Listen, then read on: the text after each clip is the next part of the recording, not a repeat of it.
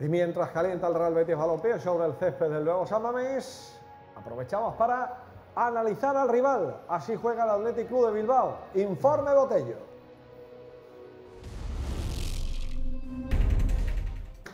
Pues como siempre intentamos llevarles a, a, sus hogares tres patrones sobre el rival, en este caso el Athletic Bilbao, el estilo, los datos y un jugador top que luego analizaremos un poquito más en profundidad.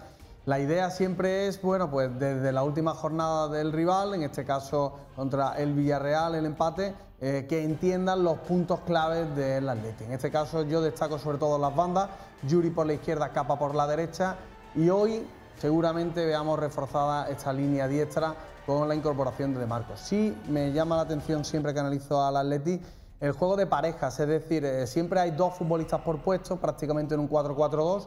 En este caso el centro del campo no repite Beñat, sale San José junto a Dani, pero es un equipo muy compacto, muy potente y que además tiene muy clara la idea de juego. La idea de, eh, la idea de juego, como vemos, en una posesión parecida a la del Villarreal, son las bandas. Tanto por izquierda como por derecha, eh, es un equipo que tiene muy clara su filosofía. Además es un conjunto que remata muchísimo. Fíjense que a puerta fueron eh, siete disparos por dos del Villarreal, jugando fuera de casa. Y además, fíjense sobre todo los de la frontal, cuatro disparos desde la frontal. Hoy el Betis tiene que estar muy atento a, esa sintonía. Si lo llevamos a la zona de ocupación, nombres propios, eh, ya hemos dicho los de Yuri y los de Capa, y luego Íñigo de central y arriba Williams, ¿no? Me parece que eh, intentar evitar esa conexión es fundamental, hay que taponar las salida de Íñigo como luego veremos. Banda derecha, fíjense la profundidad y sobre todo la zona de ocupación con Capa e Ibai. Hoy la parte de Ibai se ve reforzada por De Marco, que es más de ida y vuelta. Por lo tanto, eh, estamos seguros que por ese lugar el Betis tiene que afrontar eh, las labores defensivas con más asiduidad.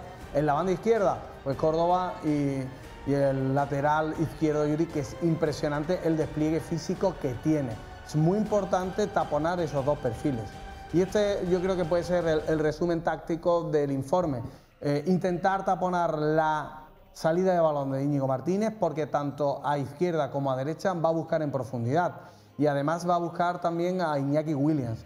Si nos vamos después al análisis de datos y con esto ya terminamos el informe, resalto el número de faltas. 305 faltas de Atleti. Va a ralentizar el ritmo de juego, va a intentar electrocutar un poquito el juego asociativo.